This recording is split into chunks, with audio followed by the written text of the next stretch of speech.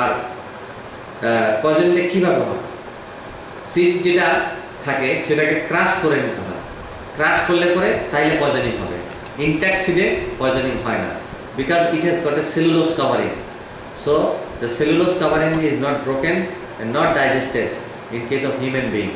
So the intact seed cannot do poisoning.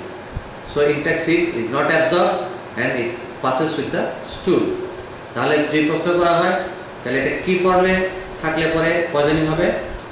যদি seed crust ফর্মে থাকে, তাহলে পয়জনিং হবে। ইনট্যাক্ট সিডে পয়জনিং হবে না। আর যদি সিডকে পাউডার করে ফেলা হয়, তাহলে ten to fifteen gram powder দিয়ে পয়জনিং করলে সেখানে মৃত্যুর সম্ভাবনা থাকে।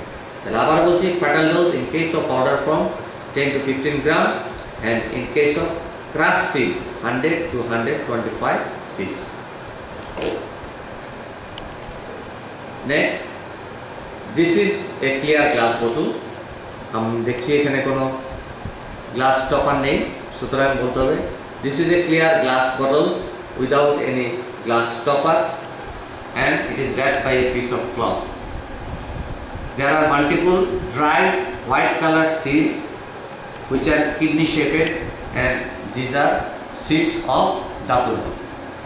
জিজ্ঞেস করতে পারে এটা কোন দাতুরা সিরিজ হতে পারে there are two types of datura datura alba and datura night অর্থাৎ সাদা ধাতুরা আর কালো ধাতুরা। অনেক সময় সাদা ধাতুরাকে বলা হয় সফের দাতুরা তো দাতুরা অ্যালবা, যে সাদা ধাতুরা, সেটার নিচের রংটা দেখা যাচ্ছে সাদার মতো যেহেতু এসে সিক্স অফ দাতুরা অ্যালবা। তাহলে আমরা আবারও নিচ্ছি, এবং পয়জন নেওয়ার যে নিয়মটা বললাম, ডান হাতে নিয়ে বাম হাতে ধরে তারপরে আমরা এই লেভেলে ডিসক্রাইব করলাম। অর্থাৎ near the ten to fifteen inch of nose and at the level of nose this is a clear glass বোতল without any glass topper wrapped by a white piece of cloth contains multiple dried white kidney shaped seeds of datura. Fatal dose 10 to 15 gram in crushed form, sorry powder form and 100 to 125 seeds in crushed form. আমি আবার বলছি in case of powder form 10 to 15 gram and in case of crushed seed 100 to 125 seed. Intact seeds does not cause poisoning because it has got a cellulose covering. So in case of human being, the cellulose coverings remain intact and there is no chance of poisoning. Next আমরা যে পয়জনটা দেখছি সেটা smell নিতে হবে এটা আবারও দেখাচ্ছি এইভাবে আমরা ধরে নিলাম তারপরে হাতটা আমরা এইভাবে নিলাম নিয়ে আস্তে আস্তে করে স্মেল নিয়ে আবার রেখে দিলাম। আমি আবারও দেখাচ্ছি, ডান হাতে ধরলাম, বাম হাতে রাখলাম। এমনভাবে ধরতে হবে যেন আমার বেশি নড়াচড়া না খায়, কারণ আমার লিকুইডটা পড়ে যেতে পারে অ্যাক্সিডেন্টালি এরপরে আস্তে করে ঘুরিয়ে খুলতে হবে। আমি আবারও বলছি, সরাসরি কখনো স্টপার খোলার চেষ্টা করা যাবে না। স্টপার খুলতে হবে, একটু ঘুরিয়ে। তাহলে ইজিলি খুলবে। তারপরে স্মেল নিয়ে রেখে দিতে হবে। স্মেল নেওয়ার নিয়ম আমি আগেই বলেছি নোজ থেকে টেন টু টুয়েলভ ইঞ্চি দূরে থাকবে তারপরে স্টপারটা হাতে তুলে তারপরে লাগিয়ে তারপরে ডেসক্রিপশন শুরু করতে পারি আমরা this is a clear glass বোতল with glass stopper contents clear coloured fluid non-adherent to the glass bottle and it is oily and lighter than the water. It has no smell. It is sulfuric acid. Fatal dose 1 drum আবার রেডডিতে যেটা লেখা আছে সেটা বললেও হবে। কোনো কোনো বইতে যেহেতু ওয়ান লেখা আছে, আপাতত আমরা এটা বললাম, কিন্তু আমরা পরীক্ষার সময় এটা রিচেক করে আমরা রেডডি যেটা আছে সেটা বললে মেনে নেব। তাহলে আবারও আমি দেখিয়ে দিচ্ছি it is a clear glass বোতল উইথ গ্লাস টপার এবং এটা নেওয়ার পদ্ধতি যেটা হলো, আমি প্রথমেই যেটাতে দেখব লিকুইড আছে সেটা অবশ্যই স্মেল নেব। তাহলে আবার নিচ্ছি, বাম হাত দিয়ে ধরছি, ধরে আমি স্টপারটা খুলছি। খুলে স্মেল নিলাম। তারপরে স্টপারটা লাগালাম, লাগানোর পরে তারপরে আমি ডিসক্রিপশন শুরু করলাম। It is a clear glass বোতল with stopper contents white sorry clear colourless liquid non adherent to the glass বোতল oily lighter than the water and it has no smell it is sulphuric acid fatal dose one dram next প্রশ্ন examiner করতে পারেন। এটা another নাম কি? তখন আমরা বলব ওয়েল অফ ভিট্রিয়ল তখন বলতে পারেন এক্সামিনার যে আরেকটা এখানে পয়জন আছে যেটার নামের সাথে ভিট্রিয়ল আছে। এই পয়জনটা কপার সালফেট এটার আরেকটা নাম হলো ব্লু ভিট্রিয়ল তাহলে এটা হলো ওয়েল অফ ভিট্রিয়ল এটা হলো ব্লু ভিট্রিয়ল এরপরে এটার ইউজ জিজ্ঞেস করবেন কমার্শিয়াল ইউজ সেগুলো আমরা পরবর্তীতে আলোচনা করে জেনে নেব। আমাদের আইডেন্টিফিকেশন এবং ফ্যাটাল লোসটাই প্রথমে শুরু করতে হয়। এরপরে আরেকটি গ্লাস বোতল আছে, এখানে দেখা যাচ্ছে কালচে রঙের লিকুইড আছে। এবং এই কালচে রঙের যে লিকুইডটা আছে, সেটার ব্যাপারে আমাদের ডেসক্রিপশনটা কি আর প্রথমে গ্লাস বোতলটা ডান হাতে নিলাম, তারপরে বাম হাতে ধরলাম, ধরে আমি আস্তে করে ঘুরিয়ে স্টপারটা খুলে ফেললাম। স্মেল নিলাম, এরপরে আমি আস্তে আস্তে করে লাগিয়ে আমার বর্ণনাটা শুরু করব। It is a clear glass বোতল with glass stopper and a cloth is wrapped around the neck. It contains dark brown color fluid with phenolic smell. It is carbolic acid. It is oily and non-adherent to the glass bottle. এটা দেখা যাচ্ছে, এটা গ্লাসের সাথে অ্যাডারেন্ট হচ্ছে না আমরা পরীক্ষা সময় দেখাবো না আমি আবার বর্ণনা বলে দিচ্ছি পরীক্ষার সময় নিয়ম ডান হাতে ধরলাম, বাম হাতে নিলাম, তারপরে আগে স্মেল নেব তারপরে রাখব এরপর description it is a clear glass বোতল with stopper and a piece of cloth is wrapped around the neck contains dark brown color fluid with smell there is phenolic smell it is non-adherent to the glass bottle and oily it is carbolic acid examiner বলতে পারেন carbolic অ্যাসিডের আরেকটা নাম কি আমরা বলব phenol এবং এটার ফাটাল ডোজ যেটা আছে সেটা জিজ্ঞেস করলে আমরা বলব তারপরে উনি জিজ্ঞেস করতে পারেন, এটার ইউজ কী কী আছে? আমাদের মেডিকেল লিগাল ইউজ থেকে কিছু কমার্শিয়াল ইউজ জানতে হয়। যেমন এটা রিপেলেন্ট ফর দ্য স্নেক সাপ তাড়ানোর জন্য ব্যবহার করা হয়। এছাড়া এটা লোকাল অ্যানেস্থেটিক হিসাবে কাজ করতে পারে। এটা একটা করসিভ এজেন্ট হিসেবে কাজ করতে পারে। একটা অ্যান্টিসেপটিক হিসেবে কাজ করতেছে। সেই হিসাবে এটাকে বলা হচ্ছে ফিনোলিক স্মেল এটা রিলেটেড অন্যান্য প্রশ্ন আসবে। এটার একটা ইম্পর্টেন্ট যেটা হলো in case of all type of corrosive poisoning stomach was is contraindicated. But in case of carbolic acid poisoning stomach was is indicated. Why? There is less chance of perforation. After ingestion of carbolic acid the stomach becomes hard and thick. So there is no chance of perforation and the carbolic acid has two effects. One is local another is systemic effect. So if there is no stomach wash after carbolic acid poisoning by ingestion the systemic effect that is narcotic effect will cause death so we have to give stomach wash because no chance of perforation and also to prevent the narcotic effect which is caused by carbolic acid তাহলে আমরা আবার recheck করে নেই ডান হাত দিয়ে ধরলাম তারপরে তুলে নিয়ে বাম হাতে রাখলাম এরপরে স্টপার খুলে এইভাবে স্মেল নিয়ে তারপরে আমরা কেন এইভাবে নিলাম আবারও বলে দিচ্ছি যদি আমরা ডাইরেক্টলি স্মেল নিতে যাই তাহলে যদি এটা ভলাটাইল পয়জন থাকে অথবা ফিউমস থাকে, তাহলে সাথে সাথে অ্যাক্সিডেন্টাল ইঞ্জুরি হবে। অর্থাৎ যিনি দেখাবেন, তিনি নিজেই অ্যাক্সিডেন্টের ইঞ্জুরি শিকার হবেন।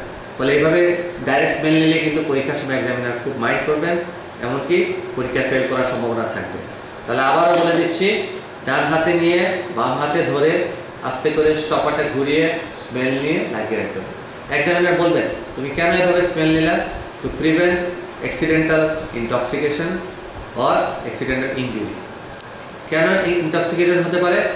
The poison may be volatile or there may be fumes for the poison তখন উনি জিজ্ঞেস করতে পারেন নেম সাম ভলাটাইল পয়জন তখন আমরা আনসার করতে পারি যে chloroform ether halothane naphthalene these are the common volatile poison halothane কোথায় ইউজ করা হয়? অ্যানাস্থেশিয়া পারপাসে ইথার কোথায় ইউজ করা হতো আগে? অ্যানাস্থেশিয়া পারপাসে ইদানিং কমে গেছে যদিও। তারপরেও করা হতো। ক্লোরোফর্ম অ্যানাস্থেশিয়া ইউজ করা হতো তাহলে দিজ আর অল ভলাটাইল কিন্তু লিকুইড ফর্মে থাকে। ভলাটাইল বলতে আমরা কী বুঝি? অর্থাৎ যেটা সরাসরি গ্যাসিয়াস ফর্মে রূপান্তরিত হয়ে যাচ্ছে। So we should take the smell with caution, that is, by this way, then we'll start the description. আমরা ইচ্ছা করলে এভাবে স্মেল নিয়ে বোতলটা রেখেও আমরা বলতে পারি। অনেক ছাত্রছাত্রী আছে, আমি বলে দিচ্ছি একটা টিপস তাদের হাতে বোতল থাকে, তার নার্ভাস ফিল করে। হাত কাঁপতে থাকে। ওইরকম হলে খুব আস্তে করে সাবধানে রাখতে হবে। দেখে বলতে পারো it is a clear glass বোতল which topper and the piece of cloth is red around the neck which contains dark brown colour fluid and it has smell which is known as ফিরোন smell and it is non adherent to the glass বোতল and well it is carbolic acid এরপরে fatal dose বলতে হবে, বলার পরে পরবর্তী পর্যায়ে আমরা এটা ইউজ সম্পর্কে জিজ্ঞেসলে আনসার করতে হবে। তাহলে আমি আবারও বলে দিচ্ছি, যে স্টুডেন্ট হাতে রেখে বলতে যে মনে করে যে তার অস্বস্তি হবে, কি তার মধ্যে নার্ভাসনেস থাকতে পারে এক্সামিনারকে বুঝতে দেওয়া যাবে না, সেটা রেখে সে ঠান্ডা মাথায় বলবে। তবে তাড়াহুড়া করে রেখে জোরে শব্দ করে রাখাটাও ডিসক্রেডিট তারপরে পয়জনের নেওয়ার সময় এগুলো যেন নড়াচড়া করে না, কারণ হাত থেকে পড়ে গেলে পরে সেটার জন্য একটা ডিসক্রেডিট থাকবে। মনে রাখতে হবে যে একটা মেডিকেল পার্সন হিসেবে আমাকে অবশ্যই পয়জন সাবধানতার সাথে নিতে হবে এবং পয়জনকে নিরাপদভাবে ব্যবহার করতে হবে এবং ডিসক্রাইব করতে হবে। এখানে একটা গ্লাস বোতল দেখছি আমরা, এবং এখানে সিল করা আছে এবং একটা ক্যাপও লাগানো আছে। এটা আমরা দেখে নিচ্ছি। লেখা আছে লেভেলে সুমিথিয়ন। সুমিথিয়ন হলো এক ধরনের ইনসেকটিসাইড আমরা ফার্মাকোলজিতে পড়েছি insecticide organophosphorus compound organo chloro compound এই ধরনের। তাহলে এটার ডেসক্রিপশন কি হবে? যেহেতু এটা সিল করা, এটা খোলা উচিত না। এটা সাবধানতার জন্য এই কারণে যে এটা খুললে পরে ইনহেলেশন পয়জনিং হওয়ার সম্ভাবনা খুব বেশি। এই জন্য এটা যেভাবে আছে ওভাবেই থাকবে, এটা খোলার চেষ্টা করা যাবে না। তাহলে আমরা ডান হাতে নেব, বাম হাতে ধরবো, আমরা একটু দেখে তারপরে বর্ণনা করব। কি বলব? যে it is a amber colour glass বোতল এটা কিন্তু ক্লিয়ার না। এটা অ্যাম্বার কালার এবং অ্যাম্বার কালার গ্লাস বোতল হওয়ার কারণে এটা সবচেয়ে বড় অ্যাডভান্টেজ যেটা হলো, এটা আলো সংস্পর্শে আসলে এটার ভিতর যে কন্টেন্ট আছে, সেটার মধ্যে কোনো কেমিক্যাল রিয়েকশন হবে না আর কেমিক্যাল প্রপার্টি নষ্ট হবে না। এই জন্য আমরা অনেক সময় জিজ্ঞেস করি, কেন এটা amber colour because amber colour protects the light so protection of the light entrance helps to remain the chemical property intact or unchanged. It is an amber color glass bottle, which is sealed by a plastic cover and it has a screw cap. তাহলে আবারও বলছি it is a amber color glass bottle with a screw cap and which is sealed at the cap and neck region by a plastic cover. It is phosphorus compound তারপরে এটা fatal dose বলতে হবে টেট্রাইথাল pyrophosphate এবং অন্যান্য যেগুলো আছে সেগুলো বলতে হবে এরপরে অর্গানো ফসফরাস কম্পাউন্ড থেকে রিলেটেড কোয়েশ্চেনগুলো আসতে পারে। এই যে আমরা এতক্ষণ পয়জনগুলোর নাম জানলাম, এটার মূল উদ্দেশ্য হলো নাম এবং আইডেন্টিফিকেশন কোনোভাবে ভুল করা যাবে না। আমরা আরেকবার এই চেক করে নিই। স্ট্রিপের মধ্যে যেটা আছে, সেটাকে আমরা আবার বলছি white small tablet in the blister strip it is phenobarbitone কীভাবে বুঝলাম? এখানের মধ্যে লেখা আছে বার্ডিনাল পুরোটা না থাকলেও এখানে বার্ডি কথাটা লেখা আছে। সো এটা হলো বার্ডিনাল, এটা হলো তার কোম্পানির দেওয়া নাম ট্রেড নাম। আর জেনারিক নেম হলো phenobarbitone it contains thirty milligram tablet মার্কেটে সাধারণত থার্টি আর সিক্সটি এই দুইটা প্রিপারেশনে পাওয়া যায়।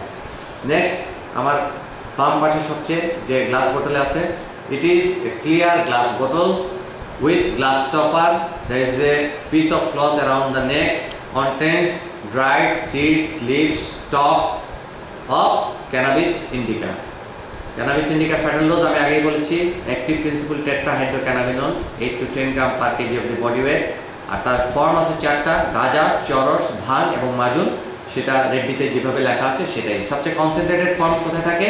চরসে থাকে। ক্যানাবিস ইন্ডিকা রিলেটেড যে প্রশ্নগুলো আছে, তার মধ্যে সবচেয়ে ইম্পর্টেন্ট হলো রানিং অ্যামো সেটা আমরা আলাদা আলোচনা করে নেব। নেক্সট আসতেছে এইটা this is a clear glass বোতল কিন্তু এটা স্মেল আছে, আমাকে আগেই স্মেল নিয়ে নিতে হবে। আমি আবার ডান হাত দিয়ে ধরলাম, তারপরে বাম হাতে ধরে স্টপারটা খুলে স্মেল নিয়ে তারপরে ডিসক্রিপশন শুরু করলাম।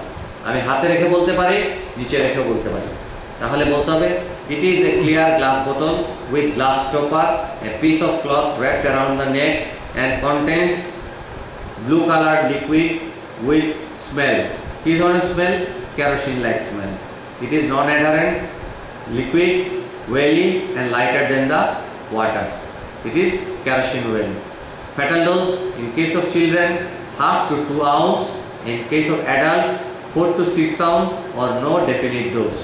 কোনো কোনো বইতে বলা আছে নো ডেফিনিট ডোজ কমনলি এটা কি ধরনের পয়জন জিজ্ঞেস করলে আমরা বলব অ্যাক্সিডেন্টাল পয়জন অ্যাক্সিডেন্টাল পয়জন কাদের এটা বেশি হয়ে থাকে পয়জনিংটা আমরা বলব চিলড্রেনদের কোন চিলড্রেনদের ক্রলিং বেবি ক্রলিং বেবি অর্থাৎ যেসব শিশুরা হামাগুড়ি দেয়। ওই সময় আরও দু একটা প্রশ্ন করি, শিশুরা ছাড়া আর কারা হামাগুড়ি দেয়? যেমন গেরিলা যারা আছে, তারা হামাগুড়ি দিতে পারে। তারপরে দেখা যাচ্ছে যে যারা অনেক সময় কোনো ধরনের কাজ করছে, যেখানে তাকে লুকাতে হবে, সেই সময় তারা হামাগুড়ি দিতে পারে। তাহলে ক্রলিং বেবি অর চিলড্রেন তারা বেশি শিকার হয়। তারপরে জিজ্ঞেস করা হয় অনেক সময় যে কীভাবে এইভাবে ক্রলিং বেবিদের এই পয়জনিং হয়ে থাকে? মেনলি যেটা হয়ে থাকে সেটা হলো তারা যেখানে ক্যারোসিন ল্যাম্প থাকে, সেটা যে ক্যান থাকে ছোট বাচ্চারা ক্রলি করে ওই যে ক্যান আছে ও ল্যাম্প আছে ল্যাম্পের মুখে যে ওটা চুষতে থাকে। সাধারণত ল্যাম্পের মাথার উপরের দিকে একটা সুতলি থাকে। তো যখন তারা এটা সাক করে, তখনই তাদের শরীরে বাই ইনজেকশন মেথডে ক্যারোসিন ভিতরে প্রবেশ করে। ক্যারোসিন ওয়েল পয়জনিং কোন কোন পদ্ধতিতে হতে পারে? দুইটা পদ্ধতিতে হতে পারে। একটা হলো বাই ইনজেকশন অ্যান্ড অ্যানাদার হলো ইনহেলেশন ইনহেলেশন পয়জনিং হয় সাধারণত বাই দ্য ফিউমস আর ইঞ্জেকশন ছোট বাচ্চারা যখন kerosene lamp or can suck করে, তখন তাদের পেটে প্রবেশ করে।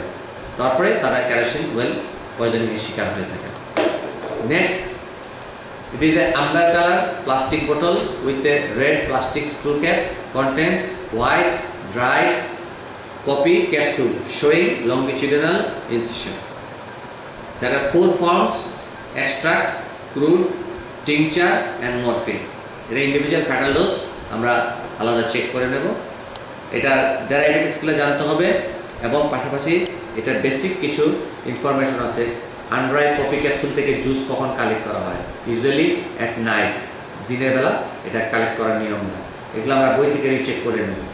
নেক্সট আসো অ্যানাদার প্লাস্টিক গ্লাস বোতল ডান হাতে নিলাম, বাম হাতে ধরলাম। It is the clear plastic বোতল with red screw cap contents blue colour small crystals which is copper sulphate এটা আরেকটা নাম হলো ব্লু ভিট্রিয়াল কপার সালফেটের যে ফ্যাটাল ডোজ এবং ইউজ এটা আমাদের শিখে নিতে হবে next it is a conical shaped clear glass বোতল with a broken stopper and with a piece of paper and a piece of cloth around the neck. It contains small white crystals of oxalic acid. Fatal dose এবং commercial use এটা আমাদের জেনে নিতে হবে It is a clear glass bottle with a glass stopper and wrapped by a white piece of cloth at the uh, neck region and stopper region. It contains white color powder without any smell. It is oxide of arsenic. আমরা আবারও বলছি বলতে হবে oxide of arsenic because only arsenic is not poisonous but the oxide from arsenic tetroxide, trioxide, copper arsenic, different compounds these are poisonous. So we'll take it the oxide of arsenic. Fatal dose 2 to 3 grain. Then it is a clear plastic bottle with a red screw cap contains a spiky fruit and this spiky fruit is the fruit of datura. Another name of the fruit is thorn apple. Thorn অর্থ কাটা কাটাযুক্ত apple এর ভিতরে multiple seeds আছে the fatal dose of the seeds in powder form 10 to 15 gram and in case of crushed seed 100 to 125 seeds. It is a stupefying agent so the stupefying dose is half of the fatal dose. That is in powder form the stupefying dose is 5 to 7.5 gram and crushed form it will be 50 to 65 seeds. This is a clear glass bottle without any glass stopper, a piece of cloth wrapped around the neck and there are multiple seeds which are white in color and kidney shaped. These are seeds of datura and these are uh, grayish white in color so probably this is from datura alba seeds.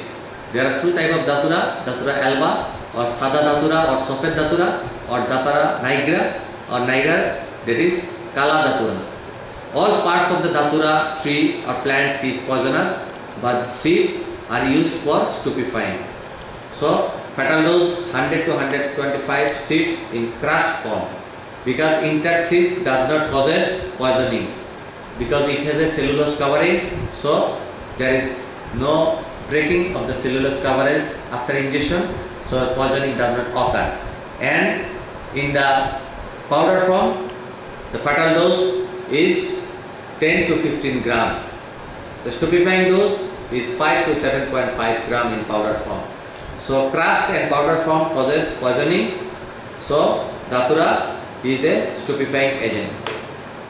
Clear glass bottle with stopper. But we have to take the smell at first. আবারও বলছি ডান হাতে নিলাম বাম হাতে ধরলাম smell নিলাম রাখলাম এরপরে এখানে রেখে বলতে পারি হাতে নিয়ে বলতে পারি।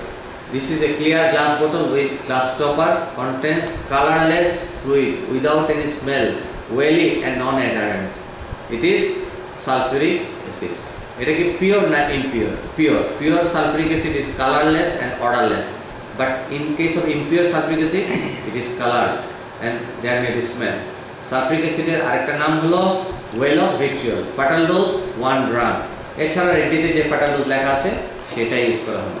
এটার মেডিকেল লিগাল ইউজ কি আছে? It is use for vitriolize vitriolize কি?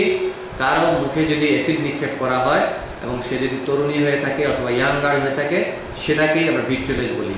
আমরা ডেফিনেশনে বলব throwing of strong corrosive, that is acid or alkali especially on the face of a young girl for disfiguration of her face due to refusal or love or to take revenge, or as a result of any enemy.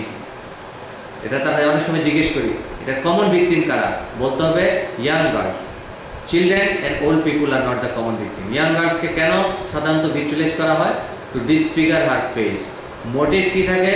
সোজা কথা হলো due to refusal of love proposal কোনো কোনো বইতে লেখা আছে sweet proposal আমার কথা হলো লাভ প্রপোজাল বলে দিলেও চলে refusal of love প্রপোজালে to take revenge a person through specially on the face অনেক সময় জিজ্ঞেস করা হয় যে যে ভিজুয়ালাইজ যখন করা হয়, এমনও তো বলতে পারে যে সে নিজের শরীরে নিজে acid ঢালছে। How will differentiate between self inflicted sulphuric acid throwing and by visualize অর্থাৎ নিজের শরীরে নিজে পয়জন ঢাললো সালফিউরিক অ্যাসিড ঢাললো, অথবা একজন থ্রো করল। দুইটা ডিফারেন্স কীভাবে করা যেতে পারে? এখানে সবচেয়ে ইম্পর্ট্যান্ট একটা পয়েন্ট হলো যে in case of throwing of sulphuric acid there is splashing sign অর্থাৎ আমরা যদি একটা জায়গায় পানি ছুঁড়ে মারি, দেখা যায় তার চতুর্পাশে ফোটা ফোটা ফোটা ফোটা হয়ে পড়ে আছে this is splashing sign so ভিজুয়ালাইজে splashing shine is present. S P L A S H I N G splashing sign is present in case of visualize. But, কেউ যদি নিজের শরীরে নিজে পয়জন ঢালে, শত্রুতা অথবা কোনো কারণে ফলস ব্লেম দেওয়ার জন্য, তাহলে ওখানে ড্রিবলিং সাইন থাকবে স্প্ল্যাশিং সাইন থাকবে না তাহলে ভিজুয়ালাইজে কনফার্মেটরি সাইন হলো স্প্ল্যাশিং সাইন যেটা ছুঁড়ে মারলে পরে আশেপাশে জায়গায় বার্ন পাওয়া যাবে। এই সালফিক অ্যাসিডে যে বার্ন হয়, এটা কী ধরনের বার্ন হয়? বার্নের ক্লাসিফিকেশন নিয়ে আমরা জানি সার্জিক্যালি বলা আছে superficial and deep burn sulphuric অ্যাসিডে কিন্তু ডিপ বার্ন হয়। এটার আরেকটা ক্রাইটেরিয়া আছে, সেটা হলো ডিপ বার্নে কন্ট্রাকচার বেশি হবে, যেটা ফ্লেম বার্নে কম হয়ে থাকে। এরপরে এটা রিলেটেড আমরা অন্যান্য প্রশ্ন দেখব। এটাতে stomach wash contraindicated next another glass বোতল এটা স্মেল নিতে হবে অবশ্যই। এভাবে নিলাম। আবার রেখে দিলাম। দেখে আমি নিচে রাখতে পারি অথবা হাতে নিতে পারি, তারপরে বর্ণনা করতে পারি। কি আসতে পারে? আবারও দেখাচ্ছি আমি। ডান হাতে নিলাম, বাম হাতে ধরলাম স্মেল নিলাম, তারপরে স্প্রে করলাম। This is a clear glass বোতল with glass stopper with a piece of cloth around the neck contains dark brown color liquid with smell, which is known as phenolic smell. It is oily and non-adherent to the glass bottle and lighter than water.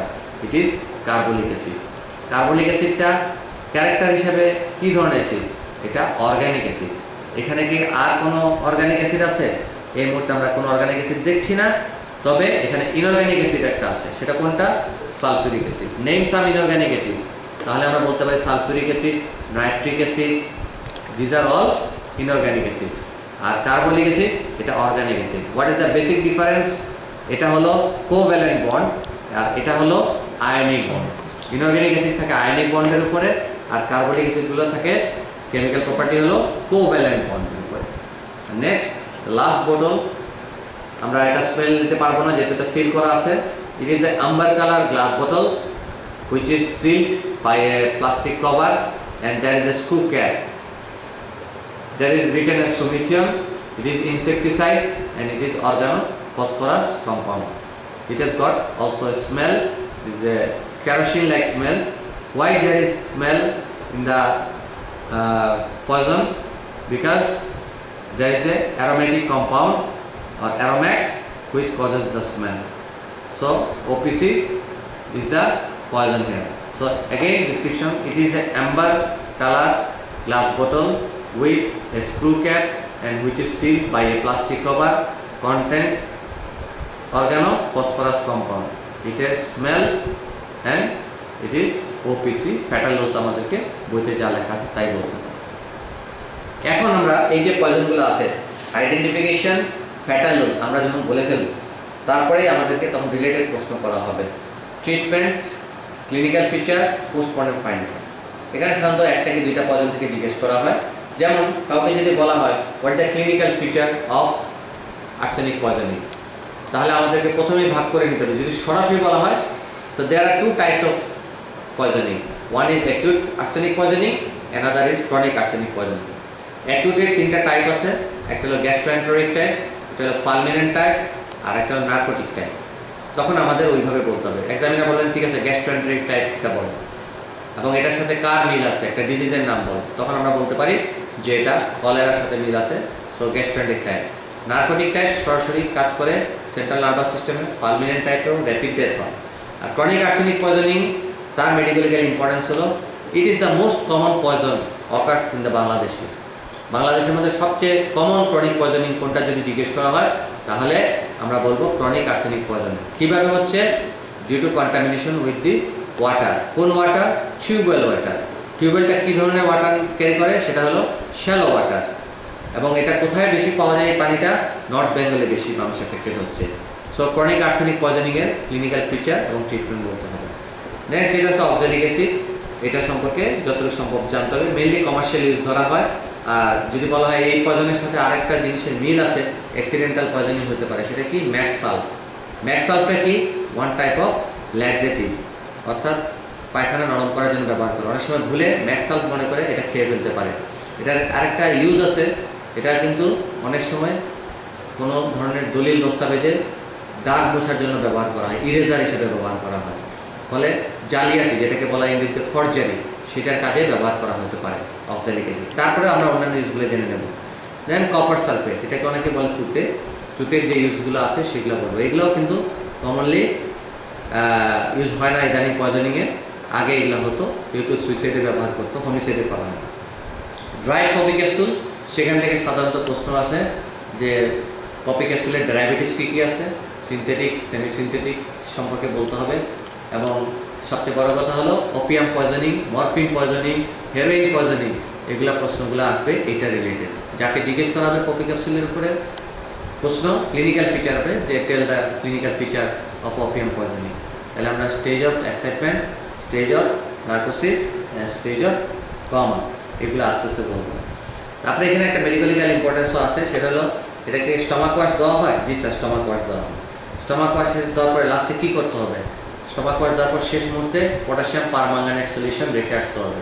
কারণ there is re excretion of the poison in the GI tract so person may die due to re intoxication আবারও বলছি opium পয়জনিংয়ে stomach wash দেওয়ার পরে stomach wash শেষ হওয়ার পর পর যখন আমরা স্টমাকটি উইথড্র করব, তখন থ্রি হান্ড্রেড এম এর মতো পটাশিয়াম পারমাঙ্গানেট সলিউশন স্টমাকে রেখে আসব। কেন রেখে আসব? টু প্রিভেন্ট রিইনটক্সিকেশন কারণ এটা সিস্টেমিক সার্কুলেশন থেকে আবার রি এক্সপ্রেশন হয়ে জিআই ট্রাক্টের যে কোনো জায়গায় আবার এক্সপ্রেট হবে। ওখান থেকে আবার রিঅ্যাগ্রেশন হয়ে রিইনটক্সিকেশন হয়ে পেশেন্ট মারা যেতে পারে। এই জন্য একটু কি three hundred M L in the stomach তাহলে আর পরবর্তীতে এটা রিইনটক্সিকেশন করবে ক্যারোসিন থেকে জিজ্ঞেস করা ক্লিনিক্যাল ফিচার এটা কমন ক্লিনিক্যাল ফিচার যেমন বলা হয় যে একটা ছোট বাচ্চা আসলো, সে কথা বলতে পারে না ক্রলিং বেবি তার পয়জনিং তুমি কীভাবে বুঝবা? ছোট বাচ্চাদের তিনটা কি চারটা পয়েন্ট ইম্পর্টেন্ট সেটা হলো, বাচ্চা যখন আসবে, সে তো বলতে পারবে না, তার চারটা কি পাঁচটা সাইন কমন থাকবে। নাম্বার ওয়ান বাচ্চা smell of kerosene from the oral cavity and number two